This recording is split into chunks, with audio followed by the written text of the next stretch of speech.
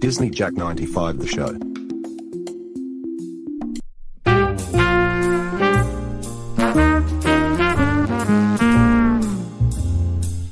Man. It sure is hot today. I'm sweating very hard. I better go inside and cool off.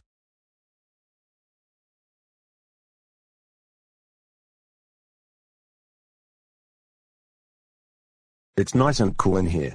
But I think I should get a drink of water. Because it's so hot outside.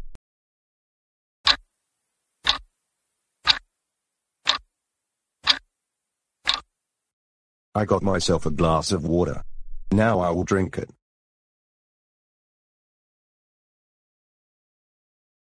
That's refreshing. I love drinking water. And it's a great way to keep me nice and cool.